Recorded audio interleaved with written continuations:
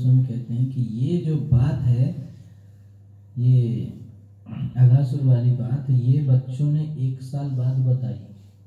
क्यों? तो इसके बीच में एक और बात हो गई। क्या बात हुई? कि एक दिन उसके बाद ही जो है सारे बच्चे, अब उनका क्या होता था? इन लोगों का बच्चों का कि ये जाते थे, अपना लंच बॉक्स सब लेके जाते थे। तो इनके बीच में इनके एक सखा थे मधुमंगल जो है, वो नहीं लाता था कुछ भी।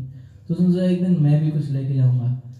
तो मधुमंगल ने क्या किया कि नंद महाराज के घर में ही वो घूमता रहता था वहाँ पे चार दिन पुरानी कड़ी रखी थी। तो उसने कहा, मैं यही ले जाऊँगा। सब लोग चिढ़ाते कि नहीं, ये कुछ नहीं लाता। तो बेचारा कड़ी ले गया। लेकिन उसने सोचा कि ये मैं लेके तो जाऊँगा, लेकिन ये कृष्ण को नहीं दूँगा क्यों? तीन चार दिन पुरानी है। उन्होंने क्या किया कि जै, उन्होंने सोचा जैसे सब लोग खोलेंगे, मैं इसको खा जाऊँगा, या फेंक दूँगा, या कुछ तो भी करूँगा।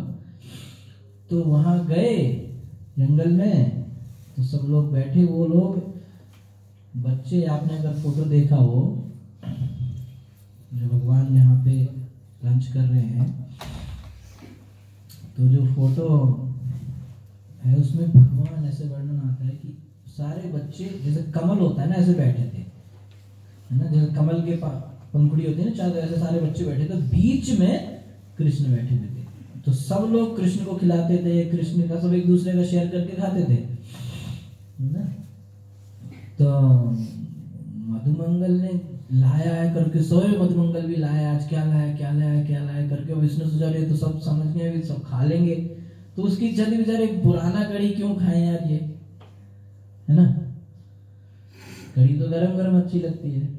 तो उसने उठ के गया, वो पेड़ भागा अपना बॉक्स लेके और पेड़ के नीचे चले गए। उन्होंने सारी कड़ी पी ली। तो कृष्ण कहते, अरे मधुमंगल ऐसे अकेले अकेले पी लिया यार। है कहते, नहीं नहीं नहीं, चाहिए चाहिए चाहिए। तो कृष्ण ने क्या किया? वो मधुमंगल एकदम से पिए थे ना तो पी नहीं पाए बेचारे तो आधा मुँह में भरा था। कृष्ण ने जाके उसके मुँह में यूँ मारा। तो क्या हुआ? वो कड़ी बाहर निकल आई, ऐसे पूरा फैल गई। तो कृष्ण ने जाके ना पूरा उनका मुँह से मुँह लगा के वो कड़ी जो है अब किस, कृष्ण को कोई दिक्कत हुई क्या? नहीं। मधुमंगल को कोई दिक्कत हुई क्या? नहीं। और ग्वाल सखाओं को दिक्कत हुई क्या? नहीं। किसको हुई? ब्रह्मा जी पता नहीं क्यों गलत जगह गलत एंट्री कर दिए, बेचारे गलत सीन देख लिया। कुछ मारने मारने वाला देखते तो समझता नहीं होती। तो ब्रह्मा जी कहते यार, ये क्या है? जिस पर ब्रह्म की उपासना वैदिक ऋचाओं से होती है, वैदिक मंत्रों से जिसको भोग लगता है, स्वच्छता का जितना ध्यान रखना पड़ता है और सारे नियम है इतने मंत्र हैं पता नहीं क्या है ना इदम वस्त्रम इदम ये इदम ये इदम उधर कुछ नहीं चल रहा है, है?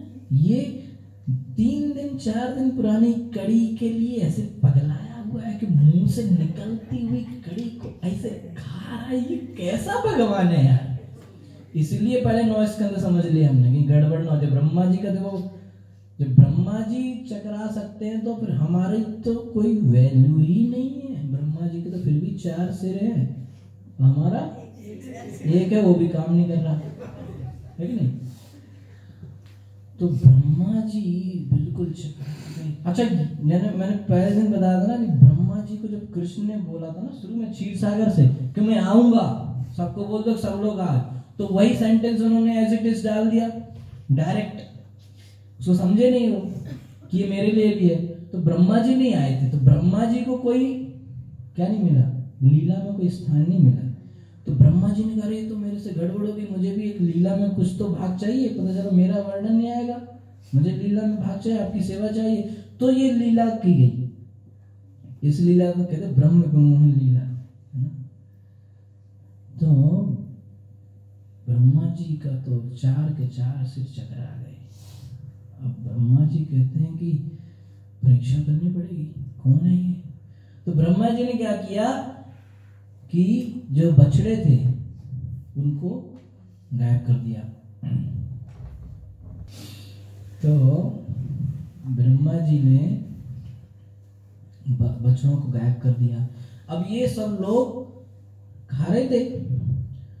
तो एक कहता, यार, बछड़े नहीं दिख रहे? तो दूर दूर तक आया भाई हाँ सही में नहीं दिख रहे। तो एक कहता है कि मैं जाके देख के आता हूँ। दूसरा कहता नहीं, मैं जाता हूँ।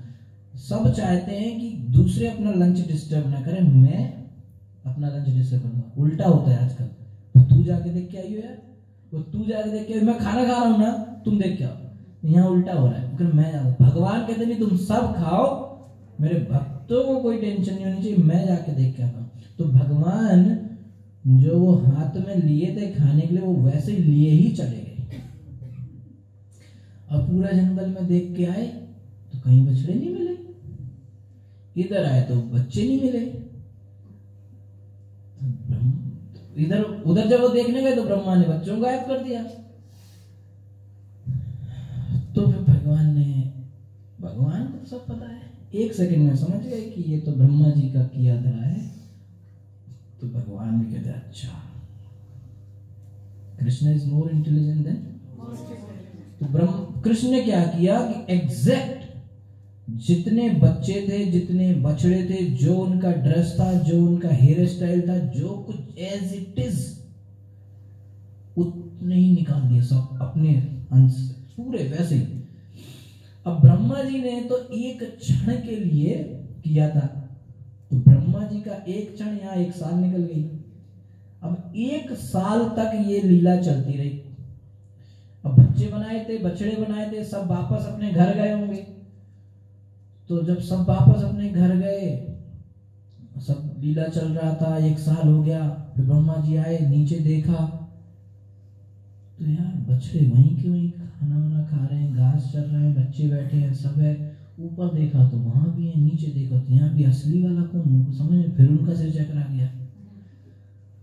तो इस तरीके से ब्रह्मा जी भ्रमित हुए, इसलिए इस लीला कहते ब्रह्म विमोहन लीला। तो फिर ब्रह्मा जी आए, ब्रह्मा जी ने भगवान की स्तुति करी, और फिर भगवान ने उतने ही जो बच्चे थे, बछड़े थे, सब विष्णु रूप, चतुर्भुज रूप में दिखाया। ब्रह्मा जी ने बड़ी लंबी स्तुति करी। और अब हुआ क्या था कि इस चीज़ की जानकारी किसको नहीं थी? बलराम जी को नहीं थी। उस दिन बलराम जी नहीं गए थे। वो बच गए। तो बलराम जी ने एक, बलराम जी ने देखा कि एक दिन, अब होता क्या था कि एक साल में जितने बच्चे थे और जितने बछड़े थे थे तो सब कृष्ण ही। तो बलराम जी ने अजीब सी ऑब्जर्वेशन की। ऑब्जर्वेशन मैंने? नहीं, उनको ऐसे लगा देख के कि कुछ तो गड़बड़ चल रहा है। गड़बड़ क्या चल रहा था? कि अब एक साल लंबा समय होता है ना तो कुछ गायें थी जो प्रेग्नेंट थी तो उनके बछड़े हो गए। नए कुछ माँ थी, उनके भी और बच्चे हो गए। तो बलराम जी ने देखा कि जो गाय है, वो बड़े बछड़े को कुछ ज़्यादा ही प्रेम कर रही, छोटे को कम कर रही है। है ना? और ऐसे ही माँ है, बड़े बच्चे को ज़्यादा, उसको तो इतनी ज़रूरत नहीं ना। जनरली क्या होता है, बड़े बच्चे को कम प्रेम की ज़रूरत होती है छोटे क्योंकि जब वो बड़ा था, अकेला था, तब उसको ज़्यादा मिला। अब छोटे वाले को तो अभी वो आया है तो फिर भी उसको कम अटेंशन मिलती है। मैं सबसे छोटा हूँ घर में तो छोटे वाले को फिर भी कम अटेंशन मिलती है, क्योंकि बड़े को कुछ तो अटेंशन मिल रही है, लेकिन जब बड़ा अकेला था, तब तो हंड्रेड परसेंट अटेंडेंस लिया ना उसने। तो बलराम जी कहते हैं कि जनरली तो छोटे को जो अभी अभी पैदा हुआ, उसको अटेंशन मिलनी चाहिए तो ये उसको दे रहे इतना क्या गड़बड़ है? तब बलराम जी ने समझा कि चक्कर कुछ और ही चल रहा है। तो कृष्ण से जो है पूछा, तब कृष्ण ने समझाया कि एक्चुअली में ब्रह्मा जी थोड़ा कुछ दिखा रहे थे तो मैंने ज़्यादा दिखा दिया। तो ये एक साल में भगवान ने ब्रज की धरती को पूरी तरीके से अपने चरण चिन्हों से भर दिया। क्योंकि बच्चे भी भगवान, बछड़े भी भगवान, जहाँ देखो वहाँ धरती माता को इतना प्रसन्न कर दिया अपने चरणों से सब जगह इसीलिए हर जगह अब इतने बच्चे थे, इतने बछड़े थे, नौ लाख तो गाय थी तो बछड़े कितने होंगे? इसलिए ब्रज की हर जगह में वो ब्रजरज का महत्व है। सब जगह बछड़े गए होंगे। सब जगह। तो इस तरीके से जो है, भगवान ने ब्रह्म में लीला किया। लेकिन इस जो लीला हुआ तो ब्रह्मा जी ने भगवान से कहा कि ये जो मैंने अपराध आपके प्रति किया है, इसको मैं कैसे मिटा सकता हूँ? तो उस अपराध को मिटाने के लिए ब्रह्मा जी फिर अगली बार आके नवदीप में निरंतर, पहले तो उन्होंने बहुत तपस्या करी और फिर हरि नाम जप करने के लिए वो अगली बार हरिदास ठाकुर बन के आए। ब्रह्मा जी ने कहा कि मुझे अपने पद का अभिमान हो गया है। अभिमान सबसे खतरनाक चीज़ हमें लगने लगता है मैं ये कर दूँगा, मैं वो कर दूँगा मेरे सामने कौन क्या कर सकता है? कोई नहीं। अभिमान सबसे खतरनाक है। क्योंकि जब हमें अभिमान हो जाता है किसी चीज़ का तो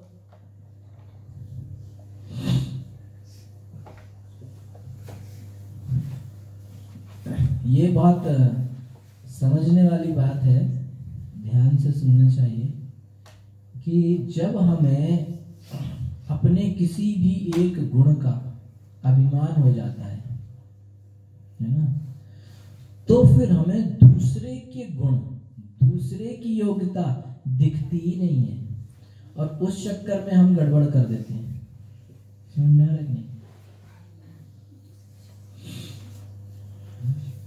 क्या बोला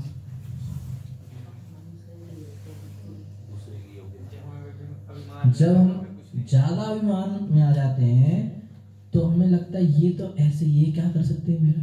कुछ नहीं कर सकते। तो हम उसकी जो महत्वता है हमारे जीवन में, उसको नेग्लेक्ट कर देते हैं। हमारे लिए कुछ, कोई मायने नहीं रखता दुनिया में। हम ही, हमें बाकी सब पानी कम है। ये स्थिति बन जाती तो ब्रह्मा जी ने कहा कि मुझे मेरे पद का अभिमान हो गया और उस वजह से मैं समझा नहीं आपको, इसलिए मैं अगली बार एक निकृष्ट जन्म में आऊँगा, ताकि मुझे अभिमान ना हो। इसलिए वो यवन परिवार में जन्म लिए और निरंतर हरिनाम किए, है ना? तीन लाख नाम हरिदास ठाकुर करते थे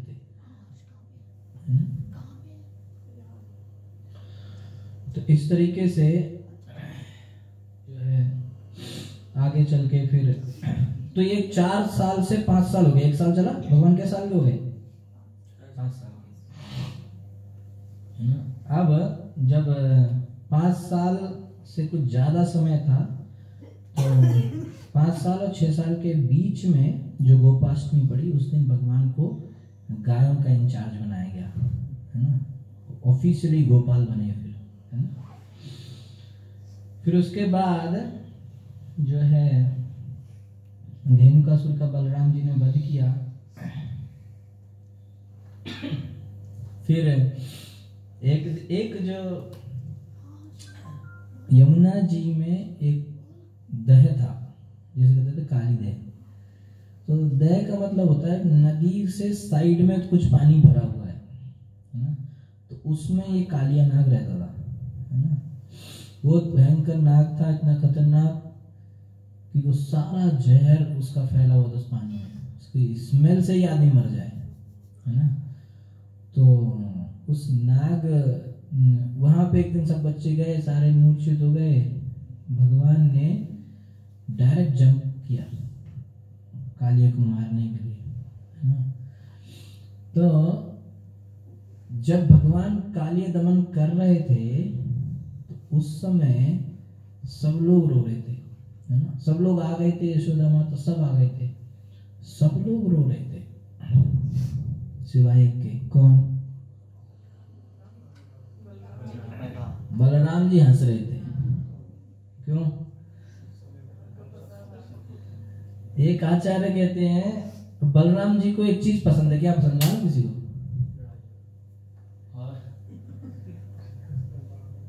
खाने पीने में क्या पसंद है? जो बलराम ने कल बताया ना बल, गुरु कृपा चाहिए आदि गुरु बलराम है पता होना चाहिए कि उनको पसंद क्या है। बलराम जी वारुणी रस होता है, उसको पसंद करते हैं। बहुत ज़्यादा पीले थोड़ा किक भी आ जाता है है ना? वारुणी शहद टाइप का कुछ है। तो आचार्य कहते हैं कि जो नशा करता है, नशे वाले तो ऐसे ही होते हैं, कभी भी गलत समय पे भी हँसते हैं।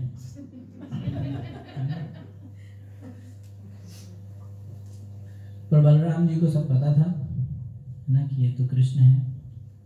ये तो सोते ही सांप के ऊपर है तो ये सांप क्या करेगा, है ना? तो कृष्ण ने कालिया का दमन किया और कालिया के हज़ारों फनों पे नृत्य किया ना? और वो एक एक जब, जो जो फन ऊपर उठता था ना, उस पर ही कूदते थे। तो रिदम सी बनी हुई थी, जैसे हारमोनियम पे उंगलियाँ कूदती है ना तो कालिया के फनों पे कृष्ण कूद रहे थे, है ना? तो इसके बाद कालिया की स्थिति बहुत खराब हो गई। तो उस मरणासन हो गया, सरेंडर कर दिया। तो कालिया की पत्नियाँ, वो भगवान की भक्त थी, वो कहती हैं कि आप इसको छोड़ दो। है ना? ये हमारी सुरक्षा में फिर कौन करेगा? तो कालिया की पत्नियों की प्रार्थना के बल पे भगवान ने उसको छोड़ दिया और उसके चरण, उसके सिर पे अपने चरण चिन्ह छोड़ दिए। ताकि वो यहाँ से जाए और बाहर गरुड़ से उसका पुराना छत्तीस का चलता था। तो उसको डर था कि गरुड़ कुछ करे ना। तो भगवान ने कहा मेरा स्टैंप लग गया ना कोई कुछ नहीं करेगा। ठीक है? तो इस तरीके से भगवान ने कालिए का दमन किया। और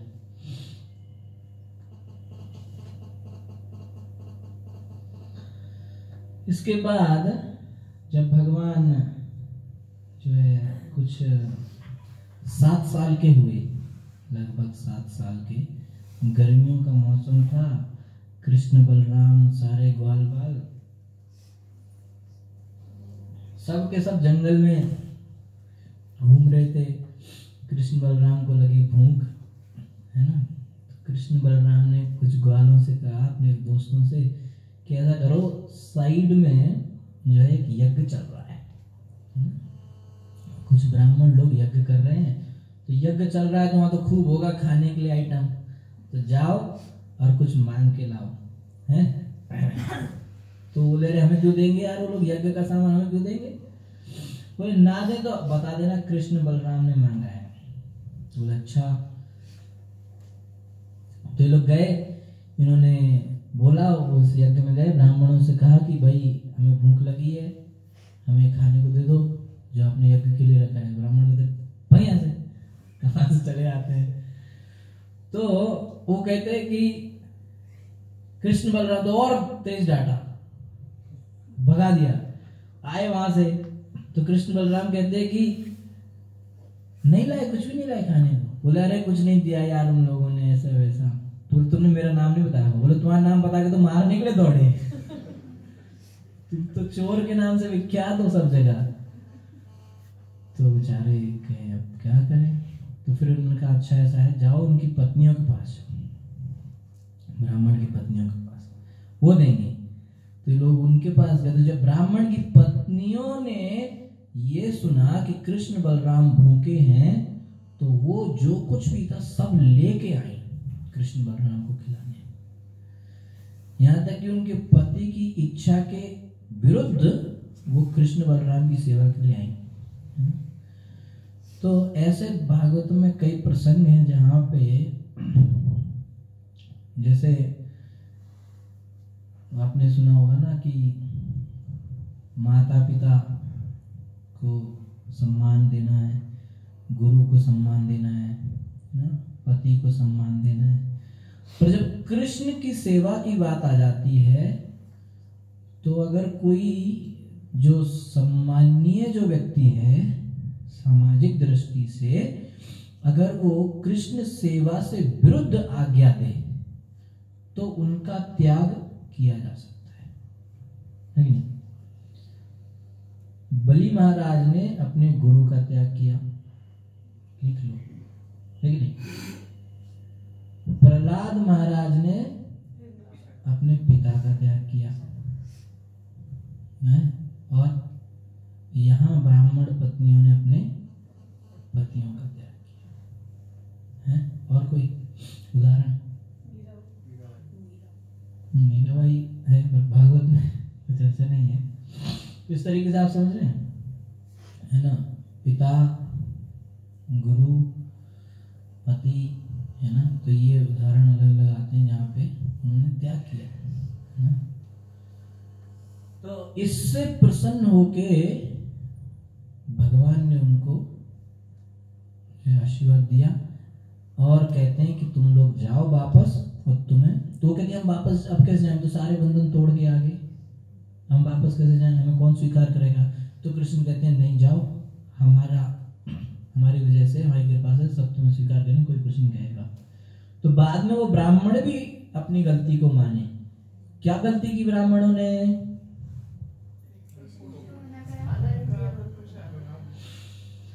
कई बार हम भी ऐसी गलती करते हैं।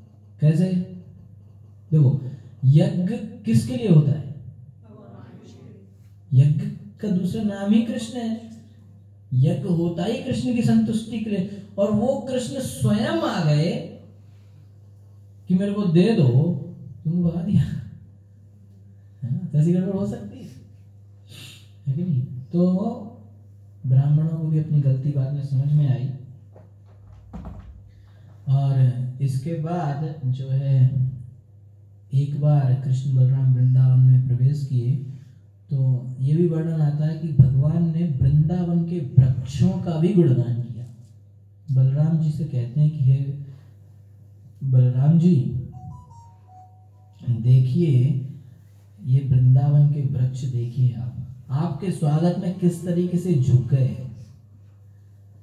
कहते हैं कि इन वृक्षों का जीवन सबसे अच्छा है। क्यों? क्योंकि ये अपना पूरा जीवन दूसरों के लिए दे देते हैं।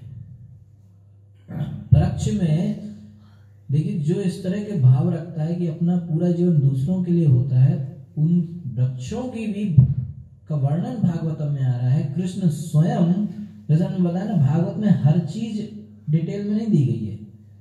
पर ऐसी चीज़ हमें लग सकता है कि वृक्षों के बारे में भागवतम में क्यों बताना है? वैसे कम समय है शॉर्ट टाइम में सब कुछ चर्चा करनी थी, पर ये इंपॉर्टेंट चीज़ है। कृष्ण स्वयं इसका गुणगान कर रहे हैं कि ये वृक्ष सब कुछ दूसरों के लिए करते हैं। वृक्ष की एक एक चीज़ दूसरे के लिए है है कि नहीं? तो इस तरीके से कृष्ण स्वयं जो दूसरों के लिए अपना जीवन देता है, उसकी कृष्ण स्वयं गुणगान करते हैं। और सबसे बड़ा परोपकार क्या है? दूसरों को भक्ति में लगाना, है ना? है ना? इसको याद रख ले हम लोग, है ना? सबसे बड़ा परोपकार क्या है? जो दूसरे को भक्ति में लगाता है, जो दूसरे को कृष्ण नाम के बारे में बताता है, भागवतम के बारे में बताता है वो व्यक्ति सबसे बड़ा परोपकारी होता है। है ना? फिर इसके बाद सातवें और आठवें साल के बीच में जो है, एक बार दिवाली के समय में जो है,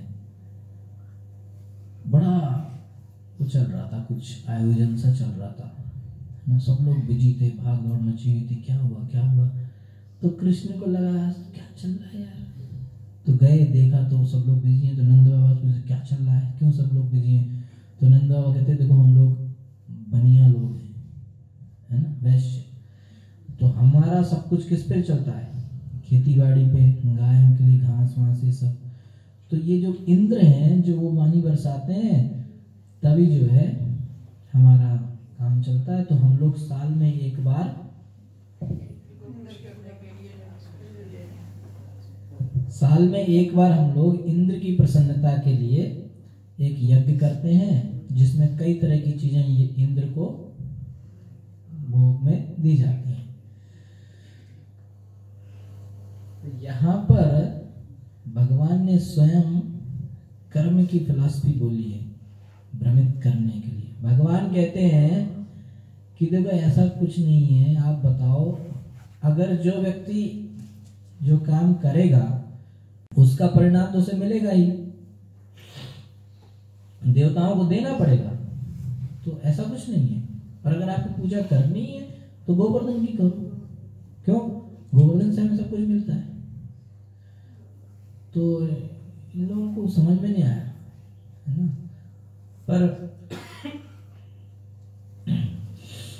पर जो है, नंद बाबा ने उनकी बात मानते हुए जो है गोवर्धन की पूजा की, सब लोगों ने जो है, बहुत बड़ा वहाँ पे आयोजन हुआ, गोवर्धन की पूजा हुई।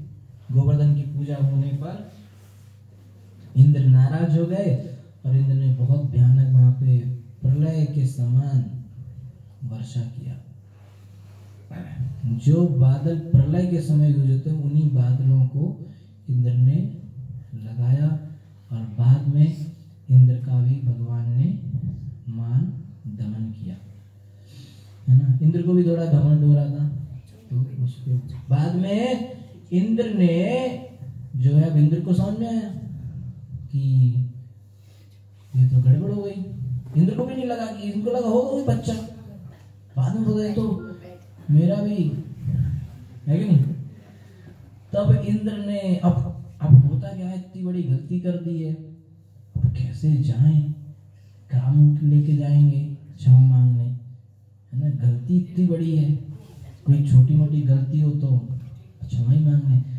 तो इंद्र ने सोचा, किसी की तो सिफारिश चाहिए।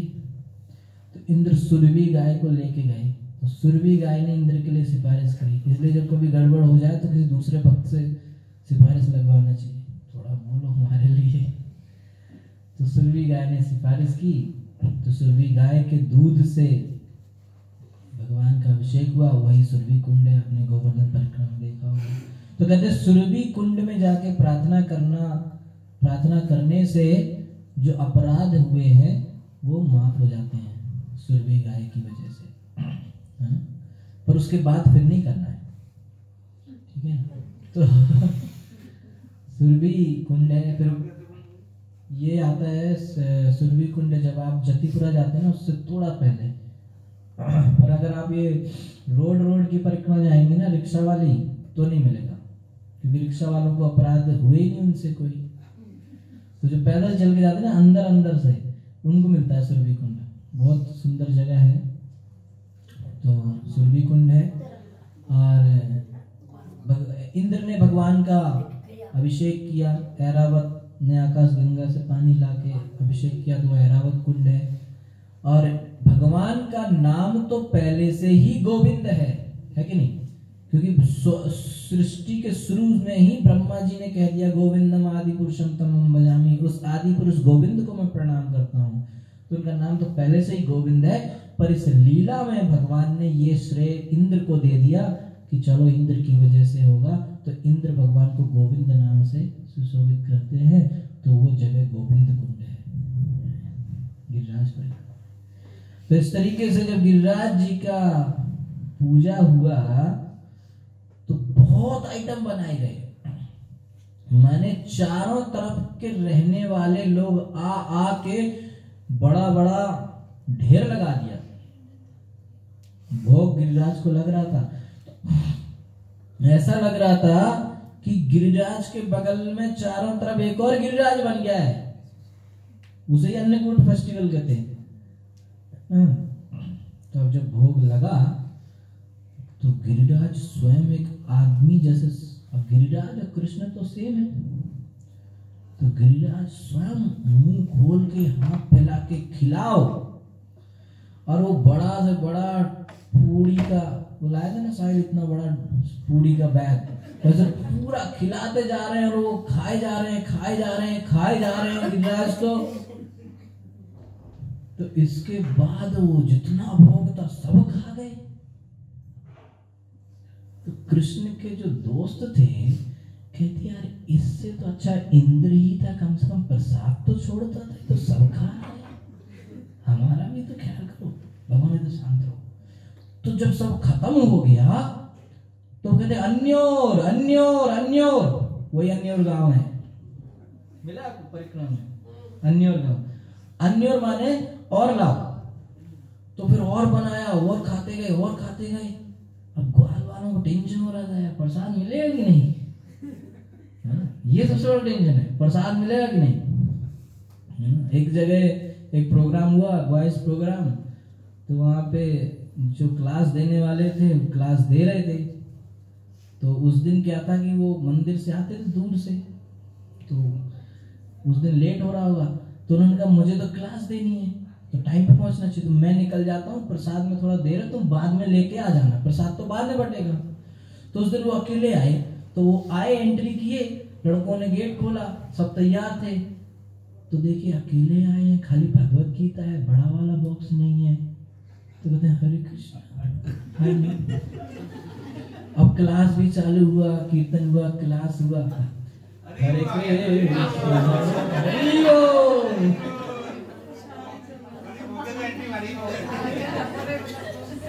अरे हमने इनको नहीं बोला था ऐसा कोई सेटिंग नहीं है करके है ना? तो तो कहते कि कीर्तन चला क्लास भी सब ऐसे शांत बैठे थे। तो इनको भी क्लास सब लोग ऐसे बैठे थे उनको भी थोड़ा इनका तो कहते आज आप अकेले आए? बोले नहीं वो दूसरे आ रहे हैं प्रसाद लेके। टॉप सबका हाँ, अभी आप सुनाओ। हाँ, अभी सुना आ रहे ना वो? है। तो प्रसाद होना चाहिए। तो फिर जब सब गिरिराज जी जब खा गए तो फिर कृष्ण कहते, सब लोग प्रणाम करो। सब प्रणाम के लिए झुके और जब उठे तो सब ज्यों का त्यों वापस आ गया। है ना? तो ऐसे प्रसाद बनता है। नहीं हम सोचे कि चार पूड़ी थी चारों वापस आएँगे तो प्रसाद का हुआ खाया क्या कि नहीं खाया? कम हुआ माने पुजारी खा गया। भगवान वापस पूरा रखते हैं, छोड़ते हैं आपके लिए।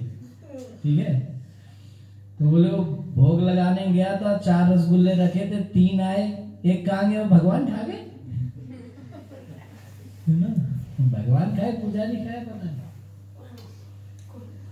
तो इस तरीके से गिरिराज महाराज ही इसके बाद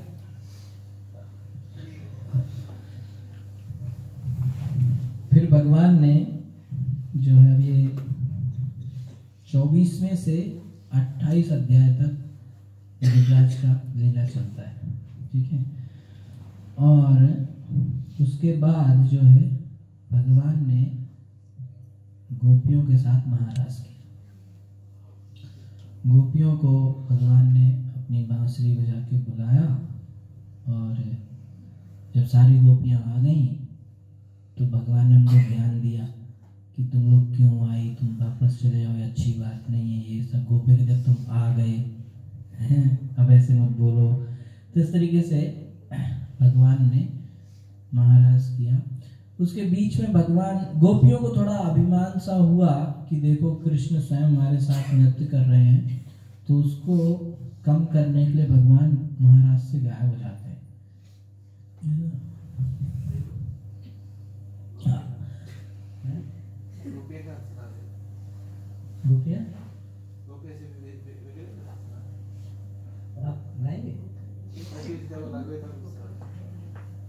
तो मैं तो शॉर्ट में ही बता रहा हूँ ये सब लीला मेरी योग्यता नहीं है बोलने की।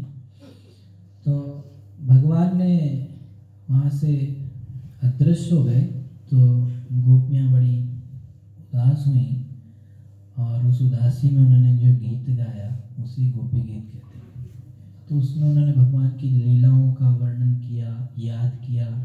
गोपियाँ लीलाओं का मंचन भी करती थी उस समय ना? कोई कालिया बन गई तो उसके ऊपर दूसरी गोपी बैठ के कृष्ण जैसे नृत्य कर रही है। इस तरह से गोपियों ने उनकी लीलाओं का ध्यान किया, है ना? तो उसी में वर्णन आता है कि एक गोपी को, जो गोपियाँ सर्च कर रही थी कृष्ण को तो ढूंढते ढूंढते जो है इन्होंने भगवान वहाँ प्रकट भी हुए पर चतुर्भुज रूप में। तो गोपियों को लगा रे नारायण नारायण को प्रणाम किया, कृष्ण को देखा क्या? नहीं देखा। तो उनको किसी से मतलब उनको सिर्फ़ कृष्ण चाहिए, है ना? नारायण को प्रणाम किया जो करना होता है, बस फिर आगे। तो एक प्रमुख गोपी को लेके वो आगे गए, है ना?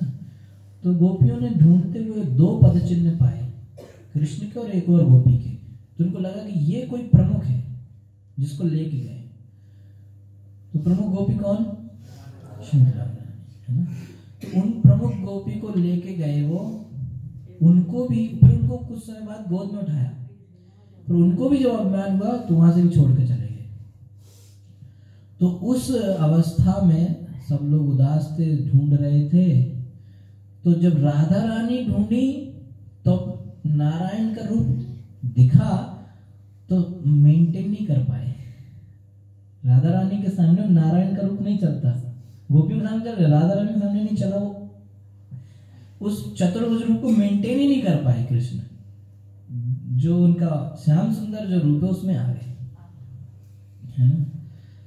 तो वो जो पेड़ है, जिसके पास ये लीला हुई थी, वो पेड़ अभी वृंदावन में है। अगर आप जाएँगे उधर चीर घाट के आगे, है ना, उधर एक मंदिर है, झाड़ू मंडल करके, गए हम लोग भी तो झाड़ू मंडल जो है, उसके अंदर आप जाएँगे तो वो लोग वहाँ रहते हैं सब। उनका घर है वो।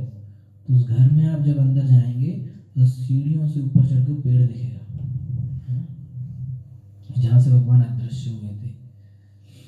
तो इस तरीके से बाद में गोपियाँ, फिर बाद में भगवान प्रकट हुए और गोपी अच्छा यहाँ पे समझने वाली बात है कि जब गोपियाँ, जब गोपी गीत गा रही थी तो सारी गोपियाँ वहाँ से पहले से लिख के नहीं लाई थी लिरिक्स कि भैया ऐसा ऐसा होगा तो गाना पड़ेगा। तो याद है ना? नहीं, ऐसा कुछ नहीं हुआ। पर सबका प्रेम जो वियोग था वो एक साथ निकला कि जो शब्द निकले वो एक ही थे। समझ रहे? पॉइंट ऐसा नहीं था कि वो सबने एक ही क्यों गाया?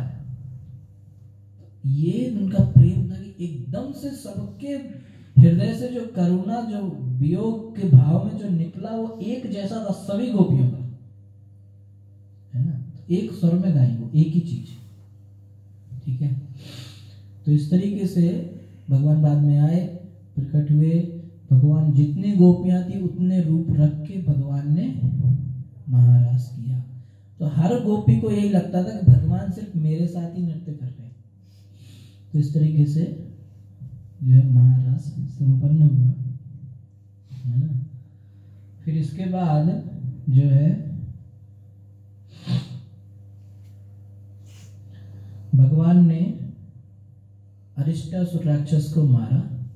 अरिष्टासुर राक्षस को मारने की वजह से राधा रानी कहती, तुम्हारे ऊपर पाप चढ़ गया है, तुमने गाय को, बैल को मारा है। तो तुम्हें अपना पाप धुलना पड़ेगा। तो भगवान कहते हैं, यार, ये क्या बात हुई?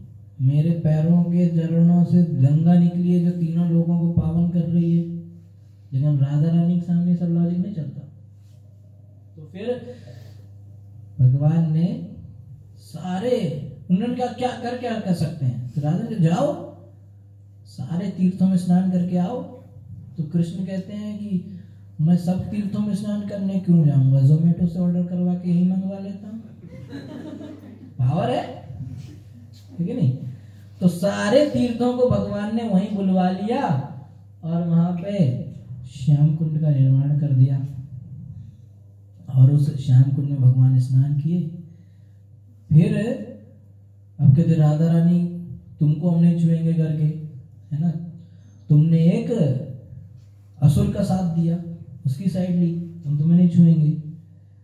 तो बोले, हम क्या करें? वही तुम करो।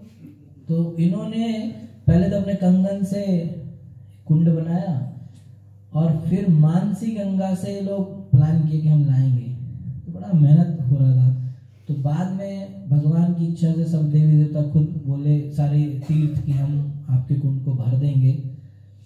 तो अगर आप कहें तो तो उनका ठीक है। तो वो श्याम कुंड का जो बॉर्डर था, वो टूट के राधा कुंड में मिल गया। आज भी ऐसे ही है। तो राधा कुंड बना। राधा कुंड की? इस तरीके से राधा कुंड के बारे में तो बहुत विस्तार से कई बार बता चुके हैं। राधा कुंड सारे जो पिछले बताया था ना, सभी जगहों में सर्वश्रेष्ठ है मथुरा। मथुरा से श्रेष्ठ वृंदावन। वृंदावन से श्रेष्ठ गोवर्धन। और गोवर्धन में सबसे श्रेष्ठ राधा। कुंड श्री रूप गोस्वामी पाद उपदेशावल में लिखते हैं राधा कुंड में इवन नारद जैसे भक्त भी आने की इच्छा रखते हैं, है ना? तो राधा कुंड इस तरह से सबसे पवित्र स्थान है। और ऐसा कहते हैं पाद कि एक बार राधा कुंड में स्नान करने से कृष्ण प्रेम की प्राप्ति हो जाती है। है ना? तो अपने गुरु से आज्ञा लेके राधा कुंड में स्नान करना चाहिए।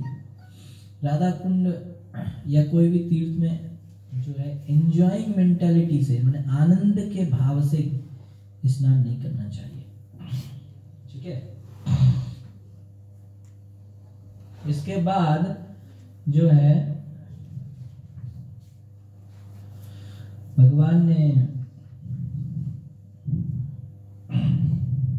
अब इसके बाद यहाँ तो भगवान हो गए अब कुछ साढ़े ग्यारह ग्यारह, साढ़े ग्यारह साल के।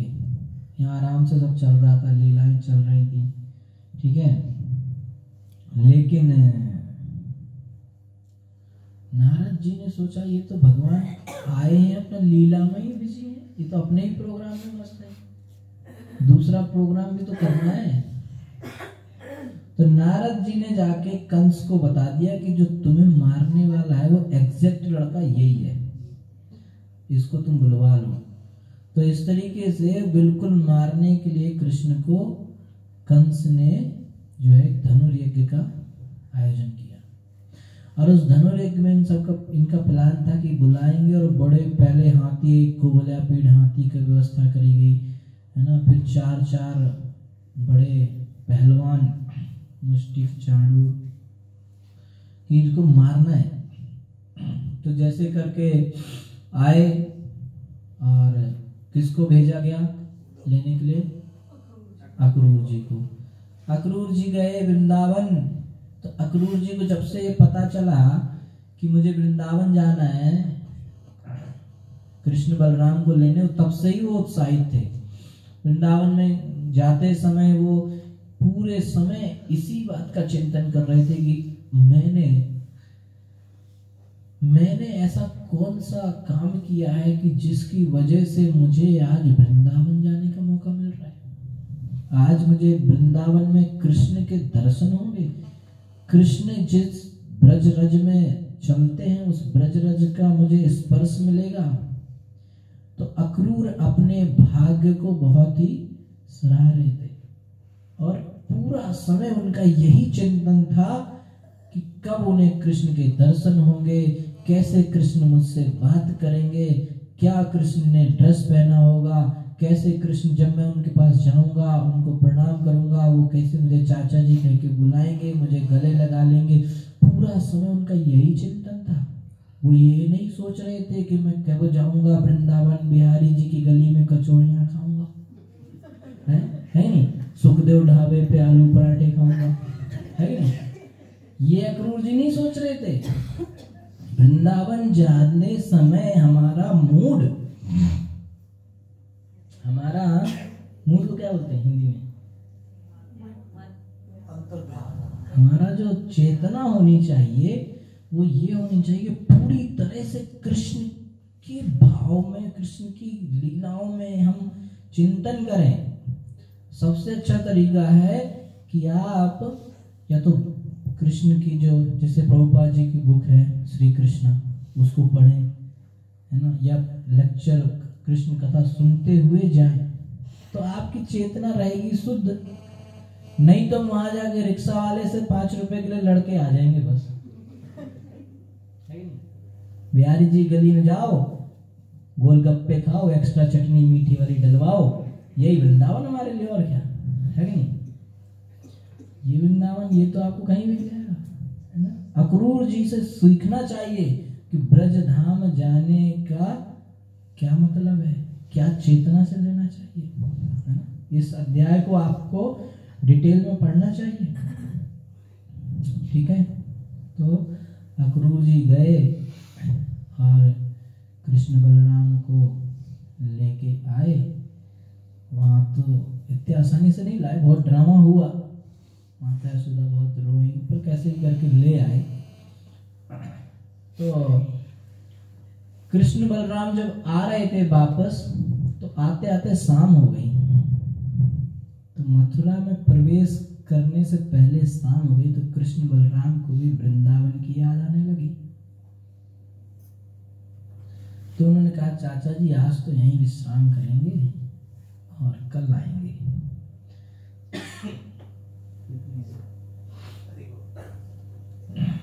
इस तरीके से कृष्ण का वृंदावन का लीला हुआ, अभी मथुरा में हम प्रवेश करेंगे।